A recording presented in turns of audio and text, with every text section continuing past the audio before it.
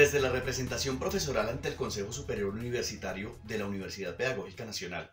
saludamos el apoyo con matrícula cero concedido por la Administración Universitaria a los estudiantes de pregrado de estratos 1 y 2 y el auxilio para la matrícula de estudiantes de los estratos 3 en adelante. Sin embargo, estos recursos son insuficientes. Es por eso que solicitamos al Gobierno Nacional, a la Administración Distrital y a la Gobernación de Cundinamarca la asignación de los recursos suficientes para que toda nuestra población estudiantil de pregrado y posgrado puedan acceder a este beneficio de matrícula cero en este tiempo de emergencia sanitaria nacional. Como representante suplente de profesores al Consejo Superior, saludo el esfuerzo que está haciendo la Administración de la Universidad Pedagógica Nacional para apropiar los recursos necesarios para garantizar la matrícula cero a un número importante de estudiantes. Pero al mismo tiempo exigimos, reclamamos que el Gobierno Nacional asigne los recursos para que esa matrícula cero se haga efectiva para todos los estudiantes de pregrado de la universidad. Pero además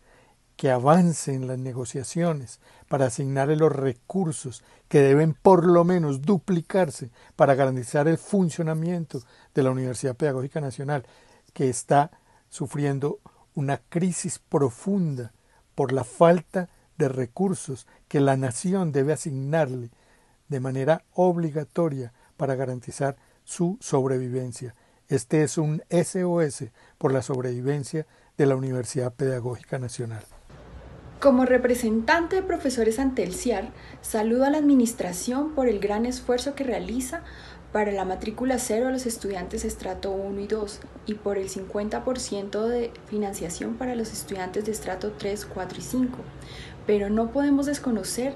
la gran crisis por la cual se encuentra atravesando la Universidad Pedagógica Nacional y exigimos en esta medida al Gobierno Nacional, a la Alcaldía y a la Gobernación de Cundinamarca que se una a este gran esfuerzo para cubrir a los 8.582 estudiantes de pregrado y que financie el funcionamiento de la Universidad Pedagógica Nacional en sus diferentes eh, funciones misionales, garantizando eh, la financiación para, para pago de profesores, para los estudiantes y que se haga realidad que los estudiantes puedan acceder a la educación pública de calidad y gratuita. Como representante de los profesores catedráticos ante el CIAR, hago un reconocimiento a la Administración de la Universidad Pedagógica Nacional por la financiación de la matrícula cero a estudiantes de estrato 1 y 2 y del 50% para estudiantes de estrato 3, 4 y 5 pero el Estado debe garantizar el acceso universal a la educación superior como un derecho humano.